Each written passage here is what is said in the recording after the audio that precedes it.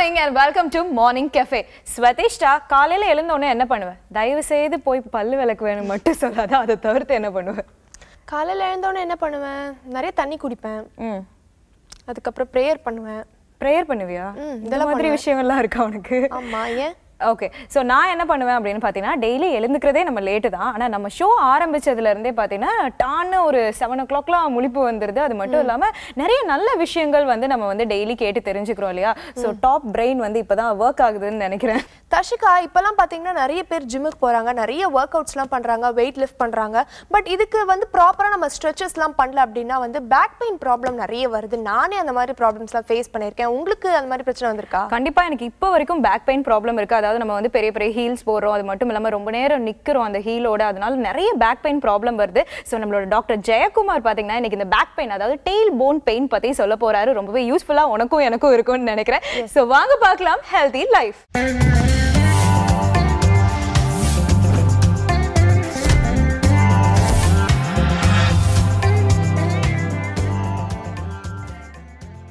வணக்கம் நேயர்களே. இன்றைக்கு டெயில் போன் ப்ராப்ளம் அதாவது காக்சிக்ஸ் பெயின் இதில் வந்து இன்றைக்கி ஏராளமான பேர் சஃபரிங்கில் இருக்காங்க. அதை என்ன செய்யணும் அப்படின்னு தெரியாமல் ரொம்ப புலம்புறது உண்டு.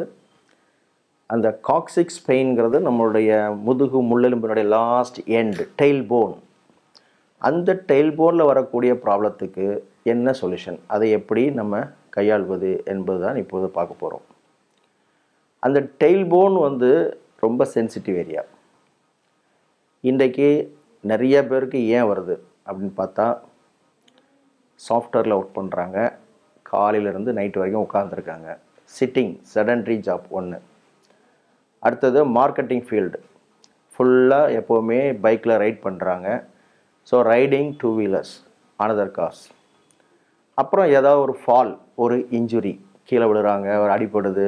இல்லைன்னா ஒரு சேரில் உட்காரும்போது சேரை யாரோ புல் பண்ணி விட்றாங்க தங்கினி கீழே உட்கார்றாங்க.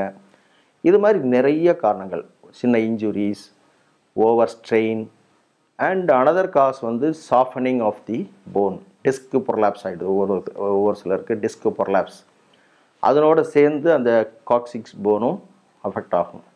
இன்னும் சில கேஸில் வந்து இந்த after delivery after delivery spine injection கொடுக்குறாங்களே அதுக்கப்புறம் கூட அந்த டெலிவரிக்கு அப்புறம் வந்து ஸ்ட்ரெயின் ஆகி அந்த டெயில் போன் வந்து பெயினில் இருக்குது இப்படி பல்வேறு காரணங்களால் டைல் போன் ப்ராப்ளத்துக்கு வந்துக்கிட்டு தான் இருக்காங்க. நாங்கள் அதை அசஸ் பண்ணி டயக்னோஸ் பண்ணி வேணும்னா எம்ஆர்ஐ ஸ்கேன் எடுத்து அதை இன்வெஸ்டிகேஷன் பண்ணிவிட்டு எக்ஸிஸ்டிங் சிம்டம் என்ன இருக்குன்னு பார்ப்போம்.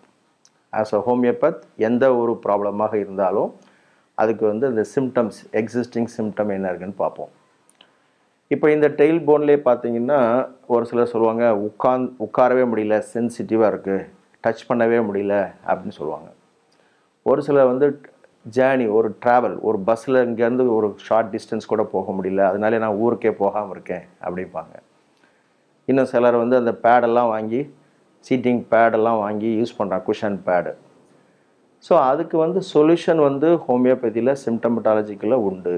அதனால் அதை பற்றி கவலையப்படாதீங்க ஏன்னா இதுக்கும் இந்த சிம்டம்ஸ் வந்து while sitting or riding vehicle travelling vehicle இல்லைன்னா வந்து உட்காந்துட்டு எழுந்தும்போது அந்த எழுந்த ரைஸ் பண்ணும்போது உட்காந்துட்டு எழுந்தும்போது பெயின் இருக்குன்னு சொல்லுவாங்க. அந்த ஒரு ஸ்பாட்டில் மட்டும் பெயின் இருக்கும் அப்படிம்பாங்க. சில நேரங்களில் அதில் வந்து ரேடியேஷன் அங்கேருந்து சைடில் பட்டக்ஸ் ஏரியாவுக்கு வந்து ரேடியேஷன் இருக்கும். இல்லைன்னா பேக் போன் பெல்விக் போனுக்கு வந்து ரேடியேஷன் இருக்குன்னு சொல்லுவாங்க. இப்படி எதில் அந்த பெயின் இருக்குது எந்த இடத்துல ரேடியேஷன் வருது? என்ன சிம்டம்ஸ் இருக்குங்கிறத அனலைஸ் பண்ணோன்னா இது வந்து ஈஸியாக சால்வ் பண்ணலாம்.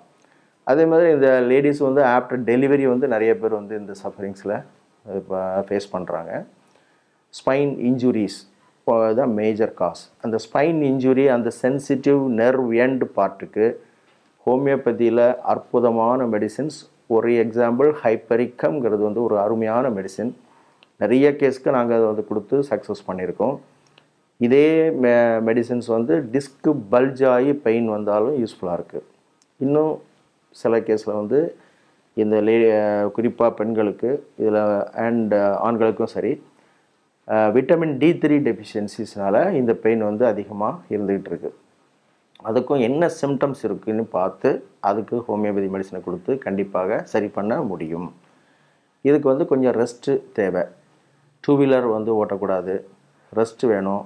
And spine exercise stretching exercise வந்து இம்பார்ட்டண்ட் இந்த ட்ரீட்மெண்ட்டோட இதையும் நம்ம சைட் பை சைட் பண்ணிட்டு வந்தீங்கன்னா இந்த காக்சிக்ஸ் பெயினில் இருந்துட்டு ஈஸியாக நம்ம வந்து ரெக்கவரி ஆகிடலாம் சமீபத்தில் விழுந்திருப்பாங்கன்றில்ல இப்போ வந்து பத்து வருஷத்துக்கு முன்னாடி வந்து விழுந்திருக்கலாம் அஞ்சு வருஷத்துக்கு முன்னாடி விழுந்திருக்கலாம்.